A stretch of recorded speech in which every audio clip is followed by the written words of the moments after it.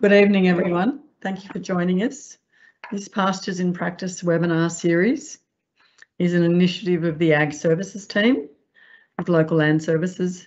It kicked off in response to feedback we received from landholders who attended the Pastures Research Update held back in March. And we aim to share knowledge and engage in healthy discussions around topical issues on all things pastures. Uh, Basil, our guest speaker, is a livestock consultant working with beef and sheep producers who has a background in ag science and economics. Uh, after Basil's presentation, when we get to the Q&A session, after Basil has spoken, you'll see a little question mark up in the top right window. So please click on the Q&A box and type your questions.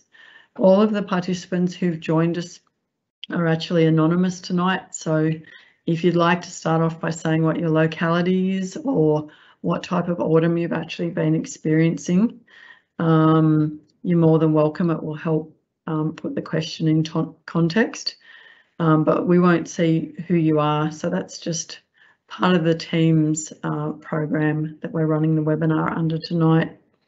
Uh, Basil will address each question one at a time in order that they come in. And we welcome you tonight, Basil. Over to you. Thank you.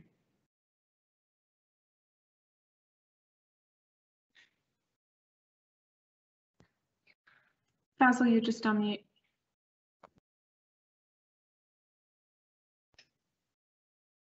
And Basil unmute himself. Mm-hmm.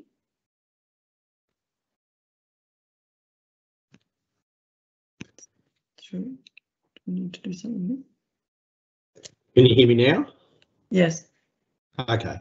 Well, thanks very much, um, Lisa. Yeah, so just uh, tonight I've been giving given a, a series of areas around uh, nitrogen and gibber, gibberellic acid to address from a boosting um, pasture production perspective. Um, so just in terms of an outline of what I'll go through is um, just uh, as a starting point, putting them in in context in terms of their importance around uh, the production system, what they are and what they do, um, what we can expect in terms of dry matter production and, and how best to use that, um, withholding periods or rest periods, looking at any impact on clover, um, some environmental and seasonal considerations, um, some likely returns, although you know that'll be fairly rough, um, uh, given that each farm will, will have its own um, specific scenario to work through.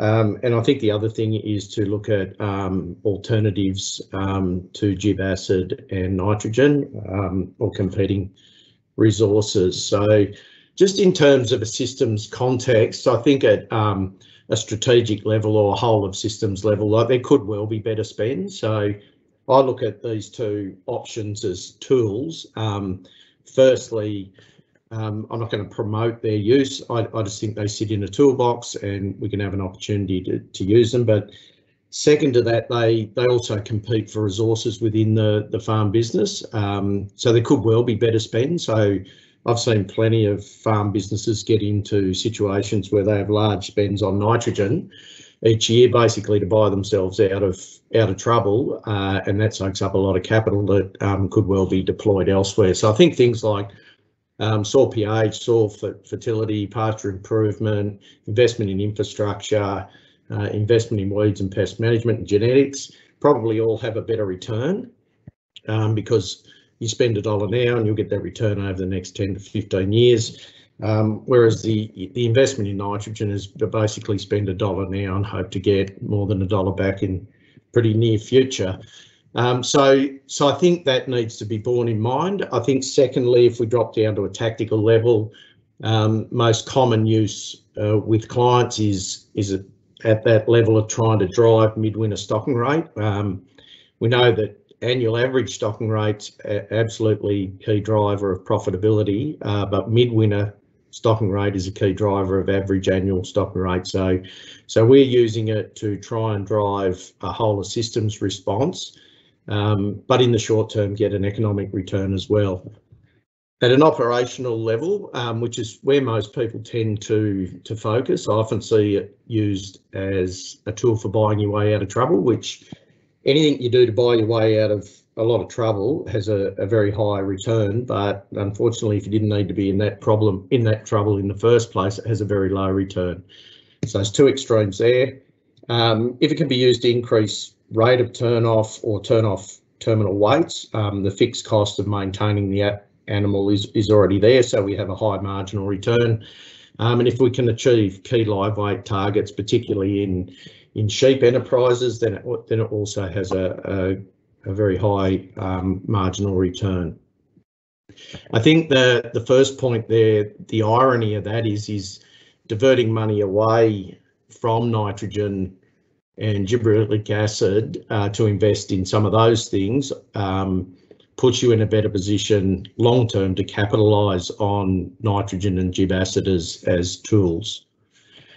So what are they and what do they do? Well, I think most people would know that nitrogen's a self-essential plant building block um, and it increases the rate of dry matter accumulation just by increasing leaf size. So basically what that means is your rest period or your rotation length shouldn't change as a result of adding nitrogen, although I often see that it does because people will be focused on on dry matter accumulation and will go go into paddocks too early just because more more feeds turned up it's very much like a, a steroid for plants. So if you stick steroids into a human being that's dead, not much happens. It's no different with a plant. If the plant's dead or or it's dormant, then the response is is um, not great, if if anything at all. So similarly with gib acid, um, although it's a plant hormone, so basically the plant decreases its production to decrease growth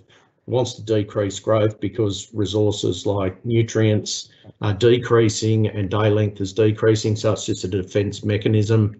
We can apply gibberellic acid to trick the plant into thinking that those conditions don't exist, and so it'll accumulate additional dry matter as long as there are some nutrient resources there and, and enough sunlight um, by increasing cell size. So years ago when I think um, acid came off patent. There was a lot of skepticism. I mean, we've done plenty of plant tests now. There is a real increase in dry matter, so we're not, no longer worried about that. I think the main thing for us is the priority between nitrogen gibberellic acid use and, and when you go about that. So just in terms of increasing leaf size, this is just two plants um, I pulled out of a paddock last week. Um, the one on the left was just um, in the paddock. No, no nitrogen had been applied to that paddock. I then went over to a urine patch and pulled out uh, another tiller. And the blue arrows are just pointing to the same leaf, one that um, had a heap of nitrogen and one that didn't have so much. You can see that those two plants are at identical leaf stages, but um, the second leaf on the plant with nitrogen is much bigger and, and that's the effect. So just highlighting the point that it's it's leaf growth um, as a result of nitrogen and gibberellic acid application uh, and rotation or rest periods shouldn't change. Um, in terms of just the practical application, so there's heaps and heaps of research on nitrogen. It's it's something that haps, happens quickly. So researchers and students um, get a result quickly and it doesn't cost too much money. So there's any amount of research out there. It's not so much on gibberellic acid, um, but we've done hundreds and hundreds of, of replicated trials and um, test strips on client farms and we get a reasonably consistent um, set of results, which allows us to prioritise the two, which we think is important. So from our point of view, when we've got soil temperatures that don't look like they're going to go under five degrees for the winter period, um, we'll always um, preference nitrogen um, as giving us the best chance for the best response. Um, soil moisture is our critical limitation most of the time, so lots of energy and effort and discussion goes into how much rain we need to wash it in and all those sorts of things. But if, if you've got a plant that's moisture stress, stressed to any extent, um, or it's not growing freely, then we'll get a compromised response to nitrogen, and typically that's that's around 50%. Um, and we also, if we've got waterlogged soils, we we won't get um, a very good response to nitrogen either. So soils that have had a lot of water but are free draining, 48 hours later, go for your life. But but um, pastures are going to sit waterlogged for extended period of time. There's really no use in applying nitrogen. Um, we find with gibberellic acid that if we've got declining soil temperatures and those soil temperatures look like they're going to go under five degrees for longer than 30 days, that gibberellic's an incredibly powerful tool. Again, we can't have a soil moisture limitation or we'll get the similar reduction in total dry matter yield or response. It typically lasts for 30 days, whereas we find a nitrogen application will typically last for the appropriate rotation based on plant morphology. Um, lot lot of um, hearsay around it depleting soil nitrogen reserves, but we haven't found that that's the case with reasonably fertile soils. And you know, you need reasonably fertile soils to have the sorts of plant population and plant types that that you would be bothered applying gib acid on. Um, it requires foliar uptake, so we need, you know, at least 1200 kilograms of dry matter per hectare or 60, 70% ground cover. Just some other considerations. I think in, in some scenarios, gibberellic acid works best with nitrogen or vice versa. So a lot of the time, if we've got declining soil temperatures and we're heading under five degrees um, for 30 days or more, so that's that's you know, 12, 15 days of frosts, um, which many of you will get, um, we'll, we'll apply a combination, so a 50-50 mix of, of nitrogen and, and gibberellic acid. So one to get the plant growing and the other one to, to provide nitrogen, which generally there's not a lot about due to a lack of mineralisation in the soil. Um, once we've got an increasing temperature, um, and if we need it, which is often not that common coming out of winter, um, nitrogen will often be a better option. So most of our test strips have said once we can pick up an increasing soil temperature, um, we, we move away from gibberellic acid and, and back to nitrogen. Um, one of the issues is that a lot of clients in the autumn will will be um, applying herbicides. So we, we actually have a fixed cost of um, the application of the gib acid and under those scenarios it can compete with nitrogen at temperatures above five degrees. So there's a few things to consider. Um, I don't think we should be talking about them as competitors. We should just say sometimes nitrogen's more appropriate, sometimes gib acid's more appropriate, sometimes a combination of the two is more appropriate. Um, I know many of you most of you probably don't irrigate, but this is the best photo I've got of the impact of um, moisture stress. So literally once um, moisture tension goes past a critical point, plants will trigger dormancy. So if that happens, even if we break that limitation the following day or following week, it's still a plant will still require a serious amount of time, like uh, often upwards of 30 days to go track into and out of dormancy and back to full growth. so if, if we consider that that process will reduce pasture growth by about 50%, even if we break dormancy quite quickly, then that'll do the same thing to our nitrogen response. So um, for me anyway, if, if I'm in an environment where I know I will ultimately get rain, um, I'm usually more prepared to to wait for it than worried about getting too sophisticated about looking at weather forecasts and all that. So we'll we'll get a an autumn breaking rain, and then we'll, you know if that's not enough to fill the profile, off and wait for the second rain. I'm very comfortable to do that, in the knowledge that I I may be accepting half the response that I could get, um, and usually soil temperature isn't going to crash that that badly in that in that two to four week period. Um, one of the other limitations is the rest period. So, you know, if we believe that pastures don't grow at a constant rate and they grow in a, a sigmoid curve and we can basically grow, um, divide the, the growth period into three equal segments that we'll grow 50% of the available feed in the last 30% of the rotation. So in this graph, the appropriate grazing point is time three. And at that point, time three, we'd expect a 10 to 1 response, say. So if we reduce the grazing period by 30%, we'll get half the response to nitrogen. And if we reduce it by two thirds, um, we'll get about a 20% response. So the rest period is critical. Um, again, I think a lot of the time people don't have enough feed is because their their rotations are too short.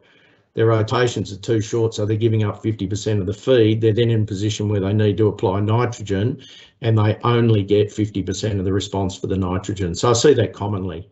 Um, so I think anyone who's who's in the space of advising you around nitrogen or gibberellic acid application should be talking to you about about rest periods because that along with moisture can compromise the response by 50 to 80%. Um, so how do you determine that rest? Well, we use plant morphology. Um, that's just simply observing um, number of leaves on given species. You know, whenever we're applying nitrogen, we're obviously playing a defensive game. We're obviously predicting we haven't got enough feed. Um, so we will want to be out at those maximum leaf stages. Um, if, if, you're not familiar with leaf stage, it's simply a case of observing the bottom leaf on the plant. The minute that starts to decay from the tip, um, that plant's re ready to be grazed or that pasture's ready to be grazed. You're going to grow another leaf at the expense of one you've already got, so you may as well take that out and repeat the process.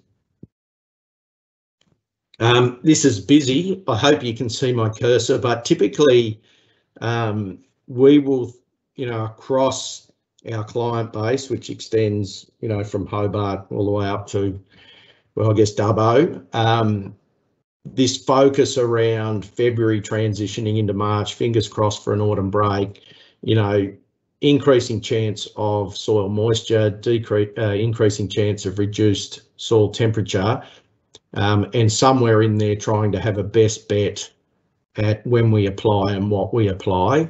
Um, so we're continuously trading off there the the increasing chance of moisture or increasing soil profile against decreasing soil temperature and the fact that we have those rules of thumb around you know heading under five degrees for more than 30 days or series of frosts and a crashing soil temperature which will crash quicker with with limited moisture because moisture tends to be a buffer of the soil.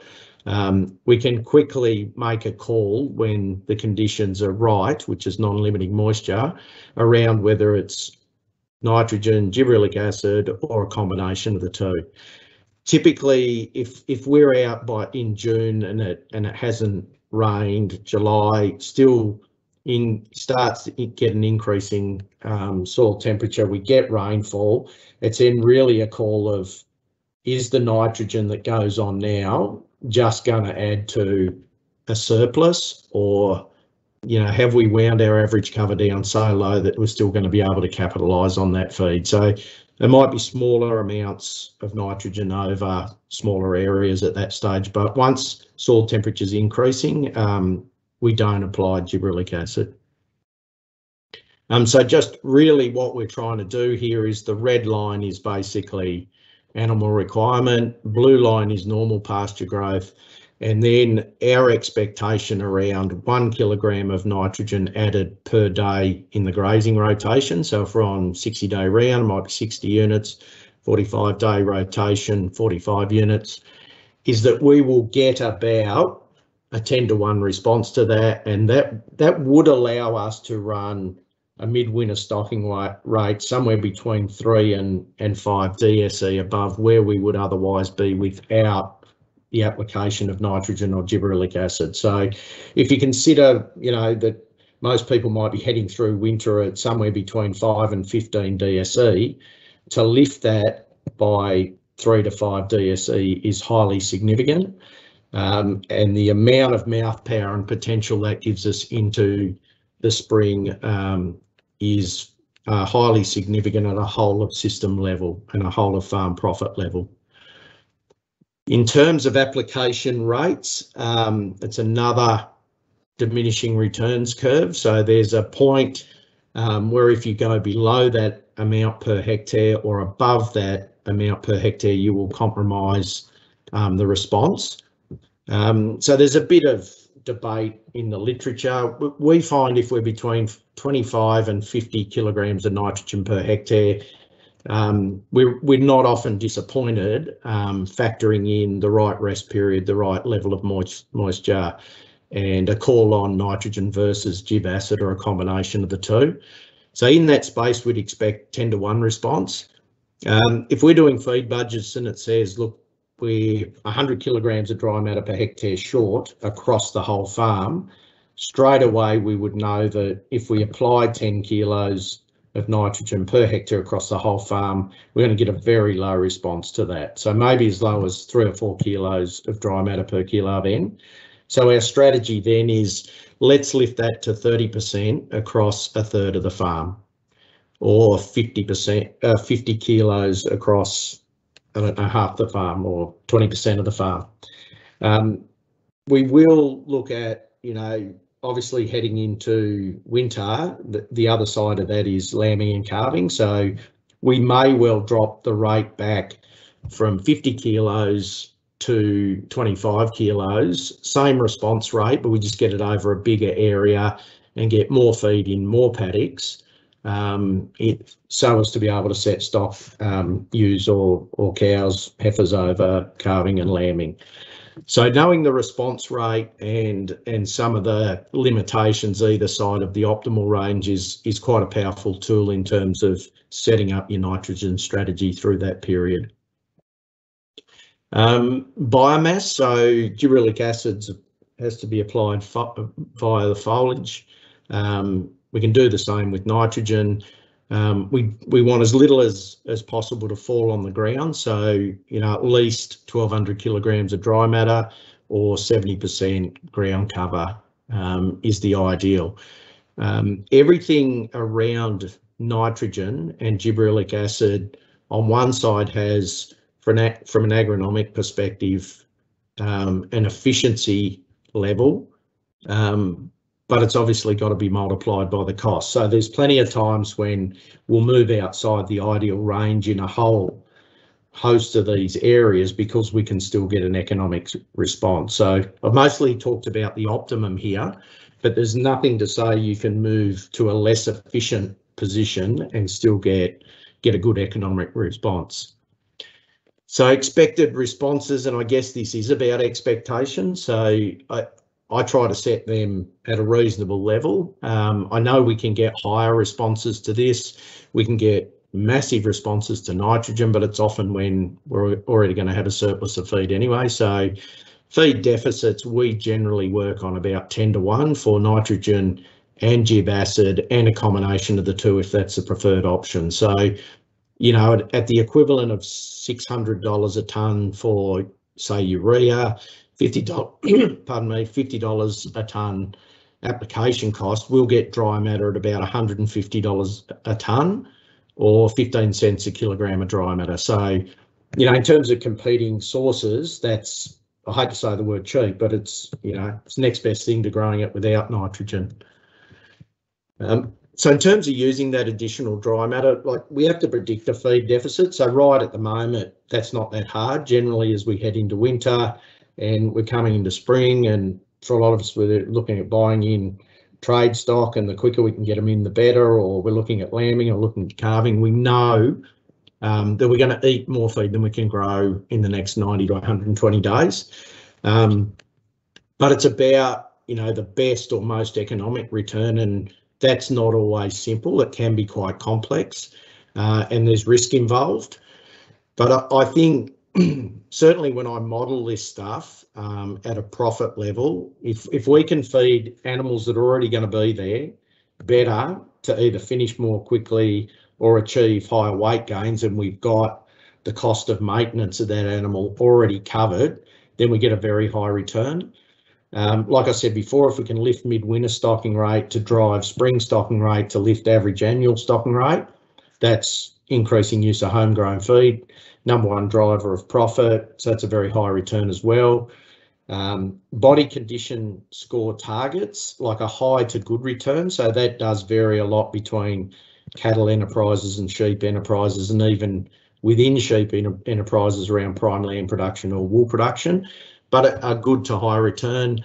Um, increasing body condition to take it off later, that's a good return. I mean, it's it's probably $150 a tonne that we put it on at and we pull it back at 80% efficiency. So, you know, that's around $190 a tonne or 19, 20 cents a kilo dry matter. So still highly effective in a as a supplementary feed in a feed deficit period. Um, a lot of the time we'll be on target heading into winter and I've got plenty of clients that'll put a bit more on to feed animals a bit better and feel better. Like I think it, it doesn't have a great return, but by geez, it's nice to do um, the odd autumn and winter and early spring period a little bit easier now and again. Um, I guess for me, we can always eat it. We never waste it. Um, I don't like a, applying nitrogen to create a surplus and then conserve it. I think, you know, by the time we've paid $150 a tonne to create it, another $100 a tonne to mow, rake, bale and get it into a pit or wrap it, um, and then we decrease the energy by 20% through the ensiling process and we waste 20% at feed out that we're about $400 a tonne. So I'm thinking grain's probably a better option. It's easier to feed um, and we probably get higher utilisation. So I'm not a big fan of applying nitrogen to, to generate surpluses. Um, withholding periods, you know, around nitrate poisoning, a lot of people have concerns around that. I, th I think there's only really two methods. It's either timing days or around plant morphology. Timing days, most of the literature that, that I can find says that day 14, you're, you're roughly going to be at peak. Um, and so by day 30, it's it's dropped off again. It's converted a lot of that to protein and that plant's reasonably safe in inverted commas. Plant morphology, we, we actually have very, very few problems. I've got plenty of clients that will apply nitrogen over the whole farm on one day and just continue to graze as normal and, and generally won't have any problems. Um, there, there are some exceptions around annual pastures and some of the weeds and cereals. So, you know, I'm saying take agronomic advice from from your local provider um, and just beware of some of those exceptions. Uh, effect on clovers and legumes. So this is not so much about the winter period, but a you know a major concern of a lot of people is that nitrogen has some sort of detrimental effect on on legumes. So in my experience, it just gives the grass a competitive edge, and you know if you allow that to shade legumes, they hate being shaded, and that kills them really quickly. Um, but if you apply nitrogen and you're heading towards canopy closure, that is when when no light at all is getting to the the base of the pastures, then we should defoliate anyway. Um, and if that's occurring before the appropriate leaf stage, then you could ask why did you apply the the nitrogen anyway. Um, so it's not a perfect world that that stuff happens, but you know if you if you're canopying out at too early uh, and you're driving that with nitrogen, then it's probably a cost you you don't need. Um, gib acid, you know, sub and white clover, effectively they're pretty unresponsive, certainly through the winter period. A lot of those plants are heading for dormancy. They're well protected even against shading, if in fact we can make that that occur through the winter. Um, so some of the likely returns, like this is like my rough as guts approach. I'd I'd say work with your local consultants around this um, for your own own system or or even throw some numbers on the back of an en envelope yourself. Um, it varies very much by farm. It varies very much if you're at the highly operational level versus whole of systems level. But just as an example, I you know I worked out earlier that six hundred dollars a ton for urea, 70 uh, fifty dollars a ton to spread it, uh, 460 kilos of N at a 10 to 1 response will give us food at about 15 cents per kilogram of dry matter. So if I've got a steer that's putting on 500 grams a day, um, I, over that 90 day period, I can get 45 kilos on. But more importantly, um, if that's a 400 odd kilo steer, it'll require about 50 megs or five kilos of dry matter just to maintain itself and another four kilos of dry matter per kilogram of live weight gain. So these are just my rough rules of thumb. Um, so basically it's going to take two days at 500 grams a day to do its kilo of live weight gain. So in those two days, it'll need two lots of five kilograms a day to maintain itself and two kilos extra each day to do the live weight production. So a total of 14 kilograms. If I said a kilo of live weight was worth four bucks and 14 kilograms of nitrogen induced dry matter um, at 15 cents is is $2.10, then, you know, my margin over feed costs, and I know this is not all the variable costs, but it's a 100% return. So, you know, it's a pretty attractive proposition um, at, at current beef prices and current um, nitrogen prices and likely responses. So, you know, if your response is five to one, your, your cost's going to be, you know, double that. So you're effectively doing it for the fun of it. Um, the other side of that is if we were going to hold those cattle anyway, so there's no other market, or we just do extra live weight, then the the cost of maintenance is fixed. So at the margin, it's four kilograms of dry matter to do a kilogram of live weight. So margin over feed cost is three dollars forty. So that's a four hundred percent return on capital. And if we, even if we doubled the cost of that feed, so we only achieved half the response, then we still got a, a pretty reasonable margin. Um, at the systems level, so around increasing mid-winter stocking rate, it'll be higher than that. So we, we've got the whole system going at a higher level. So if you can achieve that in conjunction with extra live weight gain, um, then it has has a really really nice return. But again, um, if you've got limitations in your system that are driving the requirement for nitrogen, um, you then got a dependency-based model and, and literally there's not very much return at all. Um, competing alternatives, so basically nitrogen gib acid, it, it, gives us feed at about 15 cents a kilo or $150 a tonne. Adjustment, it, look, if we're at $1.20, $1.40 a day and they're getting 8 to 10 kilograms of dry matter a day, it'll be 18 cents a kilo, $180 a tonne. There's no wastage in either of those um, because we're working on the amount eaten. Um, if we buy hay and silage, then we've got the cost of the feed and wastage. So we're going from about one cent to up to two cents per megajoule of energy, then up to 23 cents, 20, uh, 2.6 cents, sorry, and same for grain. So um, nitrogen, gibberellic acid, when you can eat them and when you can replace other sources of feed are quite cheap alternatives. Um, so I guess I spoke a little bit earlier about efficiency versus effectiveness. So, you know, if you went if you went back into the drought and you, you had a small amount of irrigation or or a storm event or something and you thought, well, I've got 30 days of growth, it'd be nice to have 60 but I could throw nitrogen in that and create feed at, you know, $300 a tonne. Um, you'd be pretty hef- uh, happy as opposed to paying five or six hundred dollars a tonne during a drought for for grain. So th- there's definitely occasions when you can look at compromised responses or taking a hit on efficiency and still be effective and still get an economic return. So again, it's worth just working through those those calculations.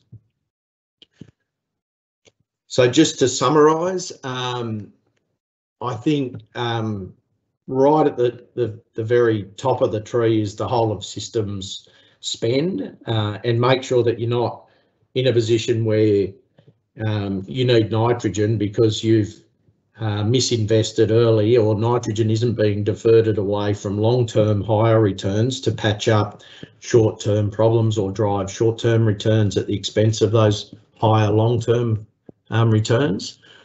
Um, nitrogen and gibberellic acid, again, like just a tool, and they can produce good value feed, um, even cheap feed uh, if used appropriately. I, I, think what's critical for me is that response function and that it is a function of, of soil moisture, the rest period, the fixed costs that are in the system and soil temperature. So you need to be factoring those in before you're going to have a debate about the merits of nitrogen, gib acid, or a combination of the two. Um, and given that everyone's farm's a bit different, you know, you can all be doing different things and all be doing the right thing. Um, but we'd, we'd like to move that into the field of, field of science rather than opinion. Um, it won't impact on legume content or legume productivity if if um, well managed and your defoliation intervals right. Um, I think it's critical to analyse the response at the margin um, and to consider both efficiency, which you know we'll often debate ad nauseum, but but effectiveness is what we're really about. It's like multiplying that by cost and looking at return to see if it's economically worth doing. Uh, and I think if you waste nitrogen induced feed, well, it's it's got an incredibly high cost. Like bringing any cost into a system that you can't capture a benefit out ultimately isn't good for the system. So that's me. I'm happy to to take questions. Okay, so Basil, can you can me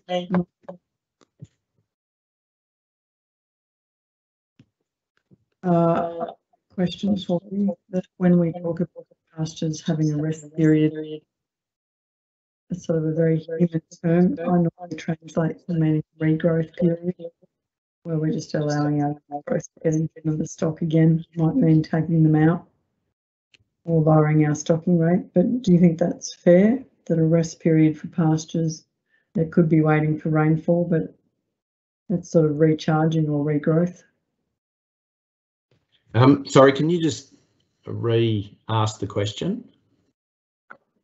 So it was more of a comment that when we talk about resting pastures, we're talking about regrowth opportunities. So unless we're waiting for rainfall. Yeah. The term resting gets used a lot, but um, it's normally sort of got to be an effective rest because we're allowing for regrowth. Is that a fair comment? Yeah, it is. Absolutely is. So I can't see any questions yet. I'll just remind our attendees that if they want to click on the question mark up on their top right of the screen and type something in. Um, now that Basil's finished, we're happy to take questions from anyone.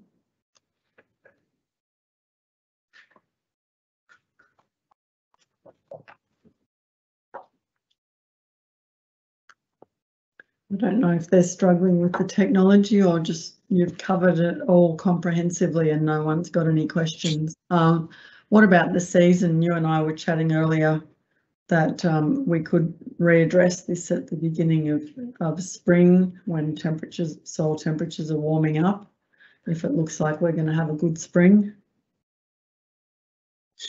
Yeah, so I think, um, I mean, I had some people today from the area um, send through they'd had 20, 25 mils, 20 to 25 mils. So that, that's an opportunity. But I think I think definitely there's a dilemma in there for us consistently around June, July when we we get an opportunity to apply it, but are we just adding to the spring surplus um, and trying to work out a best better approach to that? So again, like we're pretty um, I, I, guess regimented around a whole feed budgeting approach. No matter, and I, I think frequency trumps accuracy in that space. So, just knowing you're going to be short is is a very strong position to be in around applying or spending money in that space. And I always think the cheaper feed appears to be or, or can be generated for, the more you got to think about it and the longer the lead time. So again, you know, if we get into a position sort of June, July, and we're starting to get serious rainfall and soil temperatures are warming up, we get quite enthusiastic enthusiastic about the opportunity to apply stuff. But the reality is we may may not need it, and I think that's part of right. If we don't need it and we can get away without it, and we can divert funds back to ticking some of those whole of systems boxes, then that's always going to be a better spend in my mind. Mm-hmm. Yeah. Um, so right at the beginning, you spoke about buying you out of trouble. And um, I was just wondering if you could think of a good example, because I guess I interpreted buying you out of trouble as when you've got a mismatch between feed on offer and stock numbers. Is there a better example of when someone's considering this to buy themselves out of trouble? Um, that's a good one because it's all encompassing and it is the root of all trouble in in grazing systems. But I, th I think the one for me is like when we've got reasonable conditions, if you end up on too fast a rotation, you're compromising total growth by 50%. And then you're putting on nitrogen to catch up and you're compromising the response to that by 50%, then that's that's a huge impact on business profitability where you know you've made a hole and then you filled the hole inefficiently. And it would be worse still if you took a destock option at current prices to to marry the two lines back up again. Okay, so I've got a question from um, from Alec now. Do plants sprayed with um, gib acid have the same quality of feed without the gib acid applied? yes they do there's just less of it yep same with same with applying nitrogen with the exception of it can elevate protein levels a bit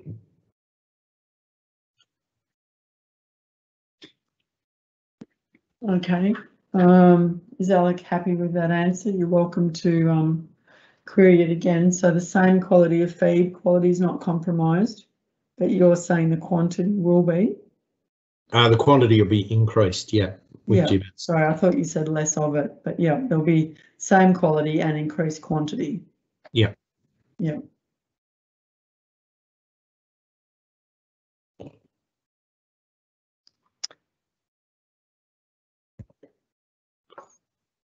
Um, could I get you to elaborate a little bit more on the leaf stage when you were talking about grazing again and you mentioned the leaf tip? Could I just get you to repeat that? When the leaf tip of the oldest leaf was dead? Yeah, so I think now there's there's literature on pretty much every improved pasture species around the appropriate leaf stage window for grazing.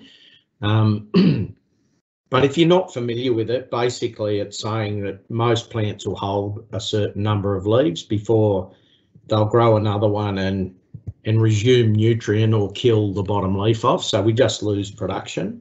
So if you're not familiar with it, you can basically check pastures that you're that you're resting and you're just looking for the bottom leaf, which is the oldest leaf, from the tip to start yellowing off or dying, and that's as much feed as you're going to accumulate in that paddock. It's just a way of determining that right rest. I think for me, um, you know, a lot of nitrogen goes on, a lot of gib acid goes on. It gets a response anywhere from going green to a massive accumulation of feed. And the difference is basically if if water's non-limiting, just the rest period being right. So I think anyone who's helping you from an agronomic point of view around applying nitrogen um, should be having a discussion with you about the rest period. And I think for me, that has to be linked to morphology because that'll give us the most quantity, it'll give us the best quality of feed, and we'll still get, you know, daughter tiller production and survival. So it's kind of optimizing the response on three fronts to the nitrogen um, rather than just that one quantity front. Mm-hmm. Yeah. Um, I'm sure we could talk longer about the impacts of shading, but what sort of dynamic um, when um, you've got serious shading events going on um, in terms of percentage of clover that you can say lose in a season, which as you were pointing out, uh, don't necessarily blame the clover. Um, don't necessarily blame the nitrogen. It's actually the grass is shading the clover that's that's causing that clover drop off or is it more the seeding capacity of the clover? It's going to reduce your seeding if it's shaded?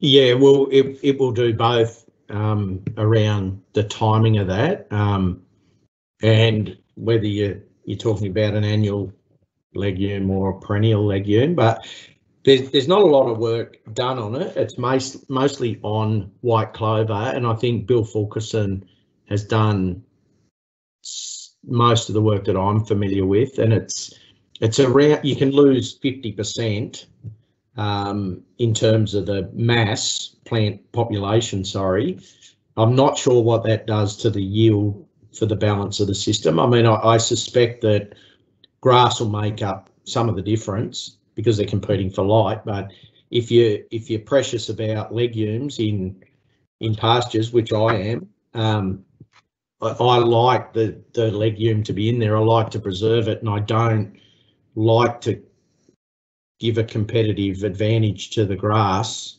in and to get rid of the legume. I want the best of both worlds, which I think you can have with the right defoliation interval. So even if you get it a bit wrong with a bit too much nitrogen, you should be coming in a bit earlier and taking out once you start to shade your legumes. Okay, there's another question there now. Um, if nitrogen soil tests are adequate, will you still get a short-term response from extra ni nitrogen? Um, yeah, so I, I don't even look at the nitrogen um, level in the soil. Um, there, has been a lot of work done by R Richard Eckard, um, you, you, know, around lag periods and all that. And look, um, for me, I'm I'm a really strong feed budgeter, and I look at nitrogen as a supplement, not as a fertilizer. So I'm the whole time checking my feed budget, going, look, I'm I'm short of feed. Uh, I've got good conditions for a plant to res- or a pasture to respond to nitrogen. I'm putting nitrogen on. Um, by the time I can get a soil sample done and get it to a lab and get it back again, that's all done and dusted. So, so for me, it's about um, working out whether I need feed, whether I've got conditions where plants will respond, which which will be a function of, of soil nitrogen, but it just doesn't happen quick enough for me to get a result back and then do something about it. So I generally don't worry too much about it.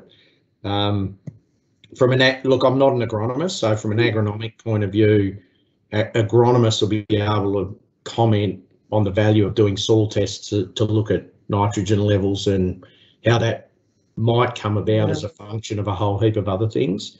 But I'm I'm really short term on that stuff.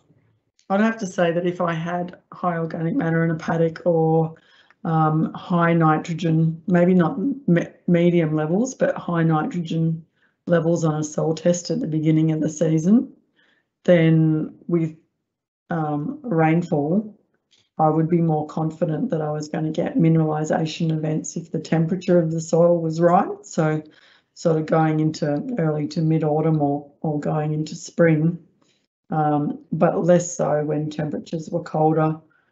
Um, or if I didn't have those high levels in the first place. So I'd need to be feeling quite confident about that nitrogen soil test and also how many cores were taken, how repeatable it would be, that I would actually get a response from a mineralisation event. Yeah, so I think that would be that would absolutely turn up in a feed budget. What whatever whatever amount was there to be mineralised, whatever conditions um, suited or otherwise, mineralisation and freeing up of it and a plant response to it would flow through more quickly in a feed budget than any other um, way you could possibly monitor that in my experience. And then it's a case of that efficiency versus effectiveness. So we actually have quite low le levels of mineralisation, but enough soil temperature to get a really good response to nitrogen. So yeah, I, I think that what you're describing absolutely happens, um, but the way we measure it is just through the feed budget. So, you know, we're either using a satellite or we're using some form of measurement, which could include an eyeball to to work out whether we're short or in surplus of feed, and then we're addressing that with if we're short with nitrogen if we've got the right conditions. Yeah, and the timing of the rainfall we just had, like if we'd had an event like last night where you'd got 12, 16 or 24 mils, I would have been confident about the uptake of the, the nitrogen with that sort of rainfall. But as we know, if those sort of very low events that come through, it's always been questionable whether the nitrogen was going to have good uptake if you, you're sort of getting less than five.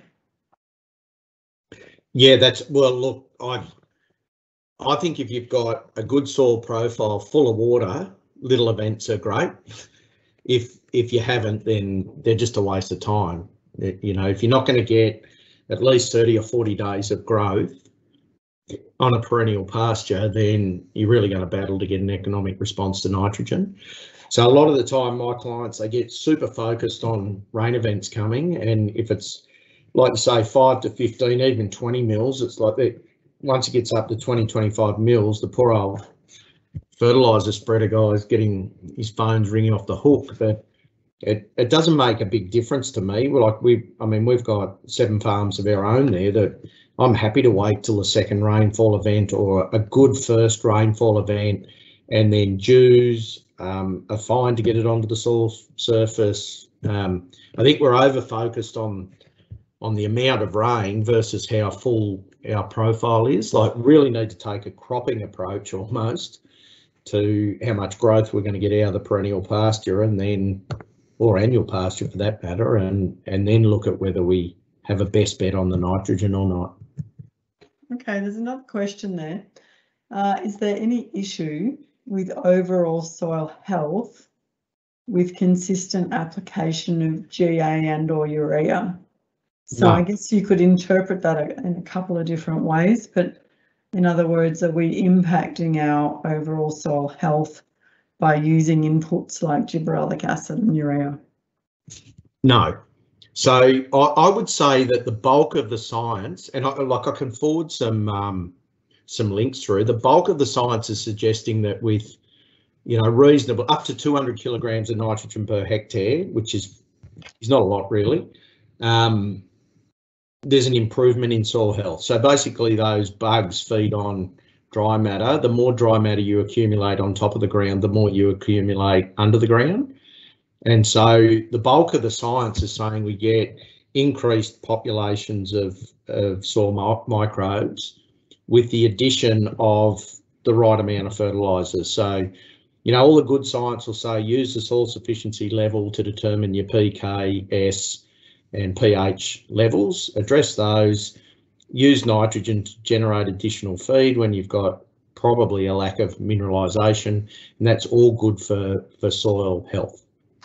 And, and I think any of the stuff around what those bugs are, whether they're, you know, protozoans or bacteria and all that, I, I as far as I can read, and I read a lot about it because I've got a lot of interest from clients in that space, I can find no good science in that space.